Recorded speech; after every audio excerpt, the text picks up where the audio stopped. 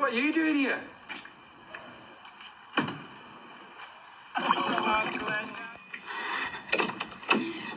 Oh, you're not the pizza delivery guy. Who the hell are you? Uh, who the hell are you? Your keys, I don't need them anymore.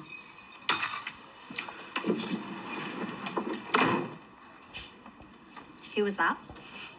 Tell you in a sec. What decade was she from?